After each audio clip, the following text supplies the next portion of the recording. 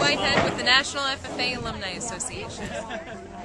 Today you see this beautiful barn behind you. You can see the old and you can see the new.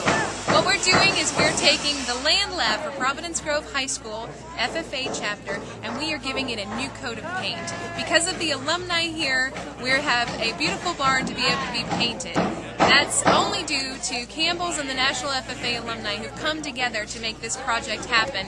Five barns throughout the nation, and this is number one. We're very excited about it. It looks good. Stay tuned because there'll be more to come.